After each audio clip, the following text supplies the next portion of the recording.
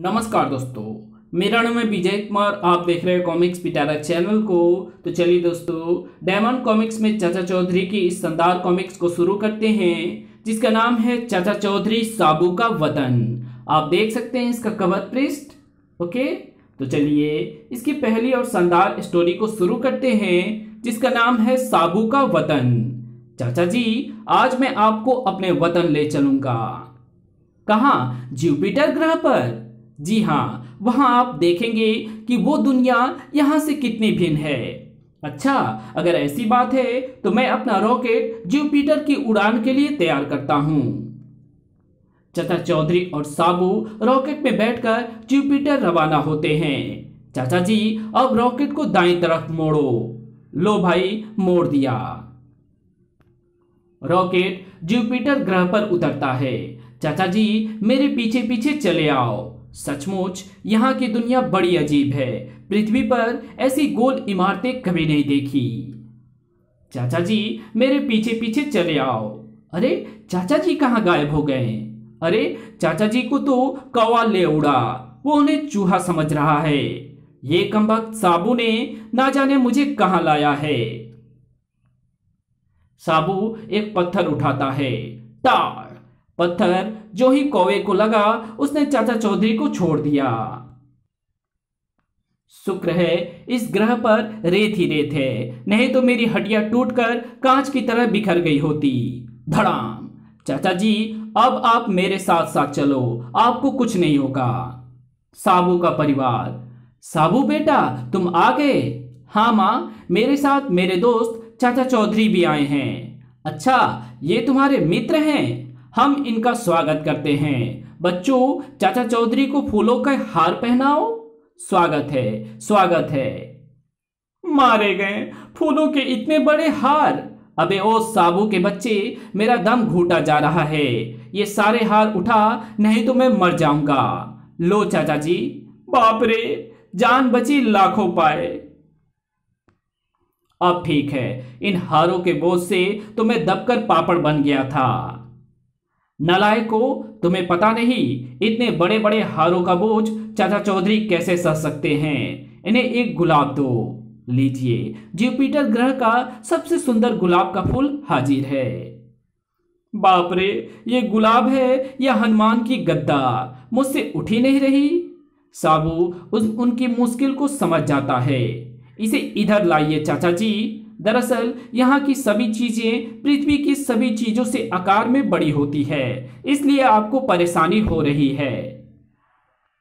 तभी माँ लाल बुझक कर आ रहा है। हमने उसे सौ बोरी अनाज नहीं पहुँचाया, इसलिए वो नाराज़ है। हाय राम, अब क्या होगा? वो हम सबको मार देगा। लाल बुझक्कर मैंने तुम लोगों को ज़िंदा इसलिए छोड़ा था कि हर महीने मुझे सौ बोरी अनाज पहुंचाते रहोगे। पर अब मैं तुम सबको खत्म कर दूँगा। अरे, तुम लोग इतने हट्टे कट्टे होकर एक छोटे से मच्छर जैसे आदमी से डरते हो। चाचा जी आपको नहीं पता, इसके पास एक विचित्र जादू है, जिससे हमें डर लगता है। इसी जादू को दूर रखने के लिए हम इसे हर महीने सौ बोरी अनाज देते हैं। हमें माफ़ कर दो, इस बार फ़सल अच्छी नहीं हुई, इसलिए अनाज पहुँचा नहीं सके। नहीं, मैं तुम्हें इस गुस्ताखी का मज़ा अभी चखाता हूँ। लाल बुझक्कर अपना जादू छोड़ता है। बड़ा रहम करो, रहम। हम खुद भूखे रह जाएँगे, पर तुमको सौ बोरी अनाज अभी देते हैं। लाल बुझक्कड़ का जादू और कुछ नहीं, मामूली पटाखे हैं। जुपिटर के लोगों ने शायद पटाखे की आवाज़ कभी नहीं सुनी, इसलिए धमाके से डर जाते हैं। दिवाली की बची हुई कुछ आतिशबाजी मेरे पास रखी है, उसे ही काम में लाना चाहिए। चाचा चौधरी दौड़कर अपने उपग्रह की तरफ़ जाते हैं और एक रॉकेट ले आते हैं। लो भाई बुझक्कड़ एक जादू मेरा भी देखो। सर बड़े वेग से रॉकेट ऊपर जाता है और, हाय, मैं मरा। बाप रे, भागो। इसके पास तो मुझसे भी बड़ा जादू है। अब ये मच्छर आपको कभी नहीं सताएगा। तो चलिए, इसकी अगली स्टोरी शुरू करते हैं, जिसका नाम है करा बाल्टी बहने। ओह, तुमने मुझे धक्का देकर गिराया? बहन, मैंने तुम्हें छुआ भी नहीं। बकरी हकनी को क्या गिराएगी? झूठ। मैंने देखा तुमने उसे ज़मीन पर गिराया। धड़ाक! वो बेहोश होकर गिर पड़ती है। जब होश आता है, ओह, मेरे सोने के झुमके कहाँ गए? मंदाकिनी कैसे आना हुआ? चाचा जी सेंट्रल पार्क में दो औरतों ने मेरे सिर पर डंडा मारा और मेरे झुमके उतार कर ले गईं। तो कारा बाल्डी बहनें जेल से छूट आई हैं। जुर्म करने का ऐसा तरीका उन्हीं का है। मुझे झुमके वापस। तुम्हारे झुमके वापस आने चाहिए। ये काम ककड़ी कर सकती है। ककड़ी, आओ। क्या ये दुबली औरत उन काराबाल्टी बहनों से मेरे जेवर वापस लाएगी? चाचा जी, कहीं आप मज़ाक तो नहीं कर रहे हैं? आम खाओ, पेड़ ना गिनो। ककड़ी, तुम्हें सेंट्रल पार्क जाना है। बहन, एक कमज़ोर औरत आ रही है। उसने कीमती नेकलेस पहना है। डंडा संभालो। आऊ। छिपकिली, तुमने मुझे गिराया। एक छिपकिली हथनी को क्या गिराएगी? ज़ुबान लड़ाती है। तुम्हें सजा मिलेगी। खटाक। छोटी औरत को जान से मार डालो। मारो। धड़ाक। फटाक। मांदाग्नि के जेवर कहाँ है? हम देती हैं रहम। ककड़ी ब्लैक बेल्ट जोड़ो चैंपियन है। तो चलिए इसकी अगली स्टोरी शुरू करते हैं, जिसका नाम है ट्रक बिकाऊ है। ओह, बड़ी गर्मी है, मुँह सूख रहा है। चाचा जी, पास ही एक नदी बह रही है, ट्रकरों को प्यास बुझा ले। आइए। पानी ना होता तो इंसान के लिए ज़िंदा रहना नामुमकिन था। साबू, पेट भरकर पानी पी लो। ट्रक बिकाऊ है, कीमत दो हज़ार रुपये ट्रक दो हज़ार रुपये इतना सस्ता? मजबूरी है। बेटी की शादी करनी है। खर्चे के लिए पैसे तो चाहिए ही ना। गिन लो, दो हज़ार रुपये ट्रक तुम्हारा हो गया। झनकू, खिसक लो। तुम्हारी शादी नहीं हुई तो बेटी कहाँ से होगी? इंजन जल्दी स्टार्ट हो गया। सौदा मुनाफे का है। क्यों भाई? क्या तकलीफ़ है? रास्ता छोड़ो। छचुंदर किसी दूसरे की संपत्ति हड़पने का मज़ा तुम्हें चखाता हूँ। धड़ाक आज अच्छी कमाई हो गई। धड़ाम, ओह, मेरे रुपए, हाय, मेरी कमर। तो चलिए, इसकी अगली स्टोरी को शुरू करते हैं, जिसका नाम है पति का चुनाव। टैक्सा रिया की रानी सारीना। ये मेरे पति नंबर वन बिरोम था। विश्व का सबसे ज़्यादा खूबसूरत पुरुष, वो पति नंबर टू, गौराज एक वैज्ञानिक था। इस तरह मैंने एक के बाद एक 135 पुरुषों से विवाह किए। सब विश्व के प्रतिभाशाली व्यक्ति थे। कोई सर्जन, कोई अर्थशास्त्री, कोई एक्टर, कोई लेखक तो कोई गायक। अब मुझे खोज है विश्व के सबसे शक्तिशाली मानव की। महारानी सारीना वो मर्द है साबू। सिपाहियों, जाओ, साबू को लेकर आओ। जो हुक्म महारानी? चाचा जी, सिपाहियों का कोई ट्रक यहाँ आ रहा है। तुम भाग्यशाली हो। महारानी सारीना ने तुम्हें अपना छत्तीसवा पति चुना है। एक महीना तुम्हारी महारानी इसे पति रखेगी और फिर मरवा देगी। विवाह करने का मेरा इरादा नहीं। नाकामयाब लौटना हमने सीखा नहीं। तुम्हें ज़बरदस्ती ले जाना होगा। चलो शादी के मंडप पर महारानी तुम्हारा इंतज़ार कर रही है। मेढ को दूर हटो। ओह! हमें मारने का आदेश प्राप्त है। ये पावर फुल बम तुम दोनों के चीथरे उड़ा देगा। वो वो! कड़म, भागो! कुछ देर बाद चाचा जी बाहर आइए। इस बार महारानी खुद आई है। उसे भगा दो। यही तो मुसीबत है। मैं औरतों पर हाथ नहीं उठाता। साबू, मेरी भी यही मजबूरी है। जाओ, तुम आज़ाद हो। ई, चूहा, बचाओ। वो कार में भाग गई। तो चलिए, इसकी अगली स्टोरी शुरू करते हैं, जिसका नाम है पतंग। साबू, क्या ये रस्सी तुमने भैंसे बांधने के लिए पकड़ी है? नहीं रिंकू, ये पतंग की डोर है। डोर इतनी मोटी, साबू के लिए बहुत बड़ी पतंग चाहिए। उसे साधने के लिए डोरी, रस्सी जितनी मज़बूत तो होनी चाहिए ना। पतंग कहाँ है? उसे बनाने के लिए मैंने खाकी पतंग साज को ऑर्डर दिया था। जाकर उससे लाता हूँ। कहीं दूर ढोपन लो, ये ड्रग्स का डिब्बा अमेरिका में ये एक करोड़ से कम की ना बिकेगी। जिनांग, अगर धंधा ऐसे चलता रहा तो हम थोड़े ही समय में करोड़पति हो जाएँगे। रुको, बाप रे, हवलदार डंडा दीन ढोपन कार तेज चलाओ, अगर पकड़े गए तो बड़े घर की हवा खानी पड़ेगी। साबू के लिए बड़ी पतंग बनाने में पतंगसाज खाकी को ढेर सारा कागज़ इकट्ठा करने में देर लगी होगी। सराट ओह। वो इतने उतावलेपन से कार चला रहे हैं। चाचा चौधरी वो स्मगलर है। तब तो उन्हें पकड़ना चाहिए। हवलदार डंडा देन आगे रेलवे फाटक बंद है। हम उन्हें धर दबोचेंगे। रुको। बस एक बार हम अपने हवाई जहाज़ में बैठ जाएँ, फिर हम इनके हाथ नहीं आते। धड़ाक। जिनांग आओ जहाज़ में बैठो और इस देश से बाहर उड़ चलो।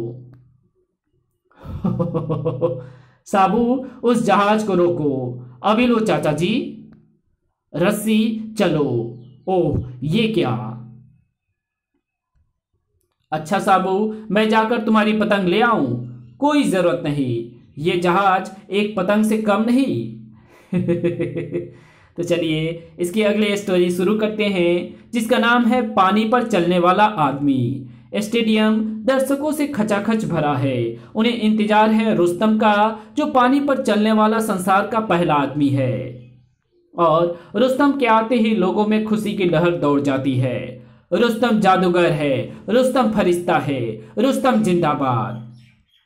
भाइयों, अब मैं आपको वो पानी पर चलने वाला करिश्मा दिखाऊँगा, जिसके लिए आपने पैसे खर्च किए हैं।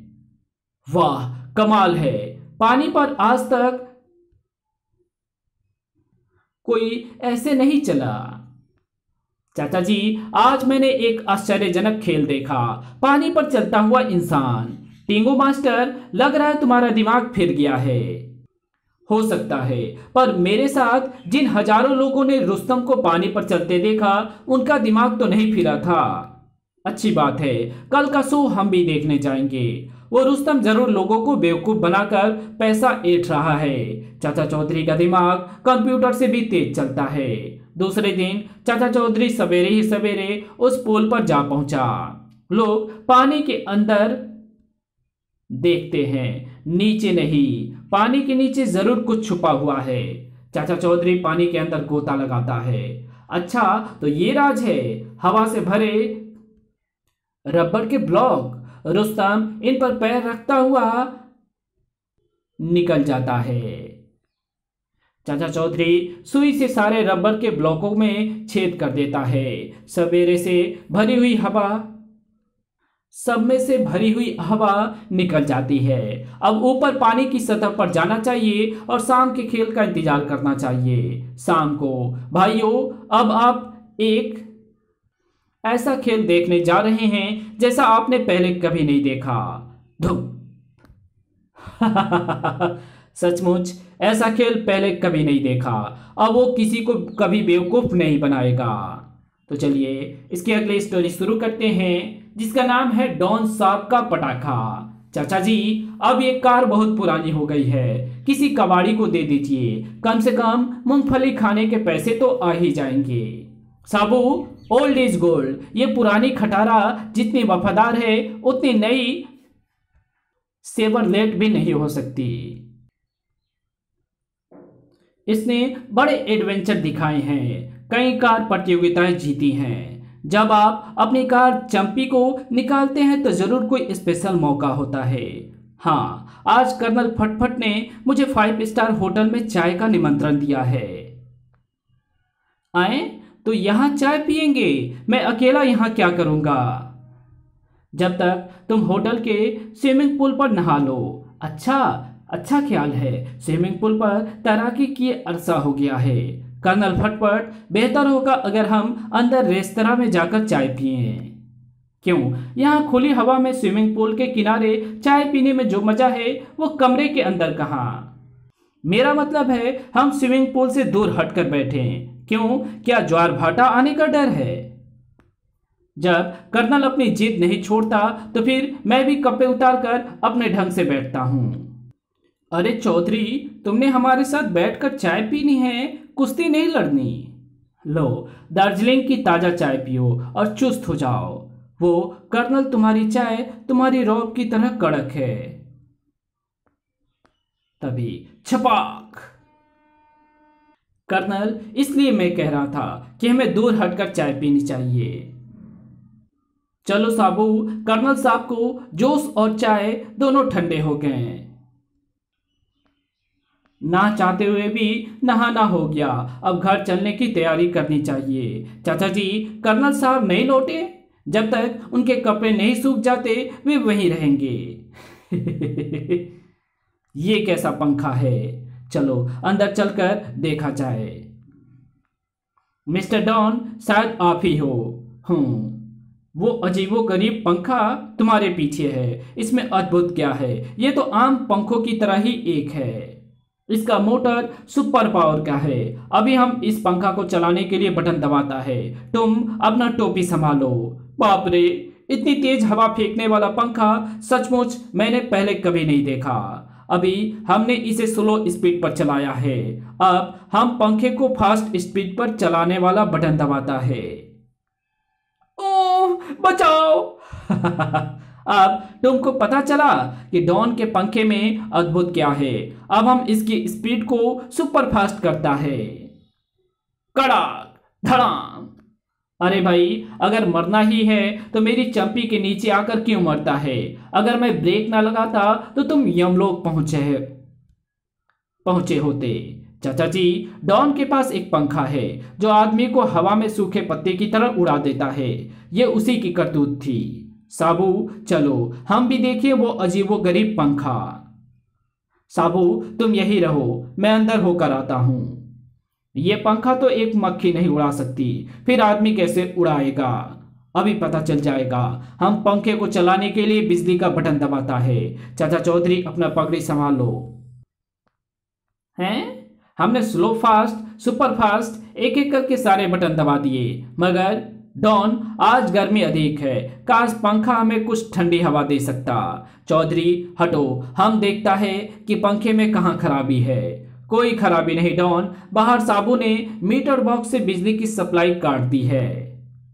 मुझे तुम्हारी बात का यकीन नहीं। पंखे में कहीं कोई खराबी आ गई है। मुझे देखने दो। साबू? चतर चौधरी की आवाज़ आई। बिजली फिर से चालू करने की तरफ़ ये इशारा है। बचाओ! डॉन, बताओ, पंखे की स्पीड को फास्ट करूँ या सुपर फास्ट रहम, मुझे माफ़ कर दो। अब मैं किसी की खिल्ली नहीं उड़ाऊँगा। तो चलिए, इसकी अगली स्टोरी शुरू करते हैं, जिसका नाम है चाचा चौधरी और बिग हेड कागोन दास, क्या बात है? दुखी नज़र आ रहे हो? चाचा जी, क्या बताऊँ? मैंने यही शादी की। ससुराल वालों के कारण मेरे खर्च बढ़ गए। क्या ससुराल वाले तुम्हारे यहाँ आ जमे हैं? नहीं, ऐसी बात नहीं है। मेरे ससुराल वाले अपने ही घर में रहते हैं। तो फिर उनकी वजह से तुम्हारा खर्च कैसे बढ़ा? मैं उस पब्लिक टेलीफोन से अक्सर उनको टेलीफोन करता हूँ और आप तो जानते ही हैं कि हर बार फ़ोन करने पर पचास पैसे लगते हैं। चाचा जी, क्या कोई ऐसा तरीका नहीं कि ससुराल में फ़ोन करने का मेरा खर्चा बच जाए? एक तरीका है। तो जल्दी से बताइए, मैं आपका एहसान मानूँगा। तुम ससुराल में तब फ़ोन किया करो जब वहाँ घर पर कोई ना हो। भाई गोपी तुमने पढ़ाई लिखाई खत्म कर ली, अब जाओ और कुछ कमाई करो। मैं जाता हूँ भाई साहब। जनाब, आपकी तंदुरुस्ती बड़ी अच्छी है। यस, हमारा सेहत अच्छा है, क्योंकि हम अमेरिकन है। हमारा कंट्री में सब, हमारा कंट्री में सब लंबा चौड़ा होता है। तुम अमेरिकन हो, तब तो तुम ज़रूर अमीर होगे। सुना है, वहाँ के लोगों के पास बड़ा पैसा होता है। यस हम अमेरिकन पैसा अक्ल से कमाता है। क्या तुम भी पैसा कमाना चाहता है? यस अमेरिकन बाबू, मैं भी कुछ कमाई करना चाहता हूँ। तो हम तुमसे एक पजल, हमारा मतलब एक पहेली पूछता है। अगर तुम उसका जवाब ठीक देगा तो हम तुमको एक हज़ार रुपया देगा। अगर तुम जवाब नहीं देगा तो तो तुम हमको दस रुपया देगा। दस के बदले में हज़ार सौदा बुरा नहीं, अमेरिकन बाबू, पहली बोलो। वो कौन सा बस है जो एंटलार्टिक समुद्र को पार करके गया? बस समुद्र में। ये लो दस रुपए। अकल के टोटे उड़ गए और और है तुम्हारी कंट्री में जो हमारे सवाल का जवाब दे सके? चाचा चौधरी, हमको उसके पास ले चलो। चाचा जी ये अमेरिकन बाबू एक पहेली पूछता है। जवाब दोगे तो एक हज़ार रुपये मिलेंगे। वो कौन सा बस था जिसने एंटलार्टिक समुंदर पार किया था? कोलंबस। ये लो एक हज़ार रुपये सचमुच, कोलंबस के सिवा दूसरा बस ने समुद्र को पार नहीं किया। कोलंबस ने समुद्र के रास्ते से अमेरिका का खोज किया था। ये आदमी बड़ा होशियार दिमाग वाला लगता है, पर हम इसको हरा कर रहेगा।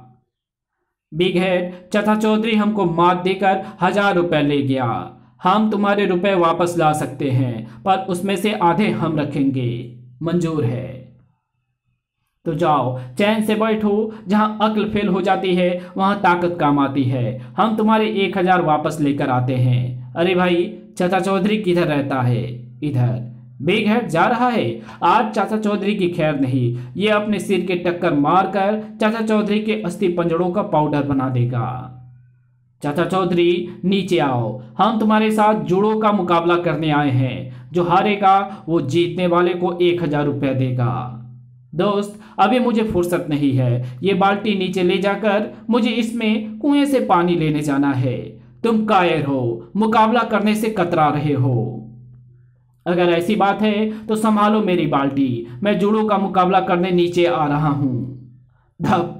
लो, बिग हेड, मैं नीचे आ गया। ओह, बाल्टी मेरे सिर में फंस गई है। जब तक ये नहीं निकलती, मुकाबला स्थगित रहेगा।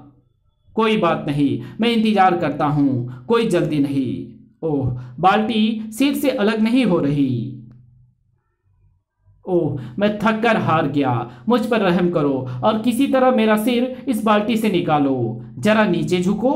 मैंने तेल की दो चार बूंदे टपका दी है। इससे बाल्टी चिकनी हो जाएगी और तुम्हारा सिर फिसल कर बाहर आ जाएगा। शुक्र है, बाल्टी के अंदर मेरा दम घुट गया था। बिग हेड याद रखो, लड़ाई ताकत से नहीं, अक्ल से जीती जाती है। एक हज़ार का और नुकसान हो गया। तो चलिए इसकी अगली स्टोरी शुरू करते हैं, जिसका नाम है भूत टैक्स। जापानी राम अपने घर में सो रहा था। जापानी राम, जागो। आप? तुमने अभी तक भूत टैक्स नहीं चुकाया। मैं वही वसूल करने आया हूँ। निकालो दस हज़ार रुपए। भूत टैक्स मैंने तो ऐसा कोई नाम नहीं सुना। जिस तरह इनकम टैक्स सेल टैक्स और हाउस टैक्स होता है, उसी तरह भूत टैक्स भी होता है। जो उसे नहीं चुकाता, उसे मारना पड़ता है। मुझे बख्श दीजिए, मेरे पास इस समय पाँच हज़ार हैं। कोई बात नहीं, बाकी के पाँच हज़ार मैं कल लेने आऊँगा। बैंक से निकलवा कर रखना। सुबह हुई। सेठ जी, चाय। बनौली, कल रात अजीब घटना हुई। एक भूत अपना टैक्स वसूल करने आया और पाँच हज़ार रुपए ले गया। सेठ जी, बाहर किसी से ना कहिए, वरना आपको पागल समझकर लोग पत्थर मारने दौड़ेंगे। कोई मुझ पर विश्वास करने को राज़ी नहीं। चाचा चौधरी के पास जाता हूँ। वो अकलमंद आदमी है। शायद कोई हल बताए? चाचा जी, रात को मेरे घर भूत आया और उसने बताया कि मुझ पर उसका दस हज़ार भूत टैक्स बाकी है। पाँच हज़ार मैंने उसे उसी वक्त अदा कर दिया। बाकी वो आज रात लेने आएगा। ऐसा टैक्स तो मैंने भी आज तक नहीं सुना। मैं कोशिश करके तुम्हें टैक्स फ्री करा सकता हूँ। आओ मेरे साथ, रात। जापानी राम, मुँह ढककर सोने से काम नहीं चलेगा। मैं अपने बकाया टैक्स के पाँच हज़ार लेने आया हूँ। भोजी, मैं जापानी राम का दोस्त हूँ। मेरा मित्र आज रात ऊपरी मंजिल के कमरे में सोया है। कमरे की खिड़की खुली है। पाँच हज़ार रुपये उसने तकिए के नीचे रखे हैं। जाइए और ले लीजिए।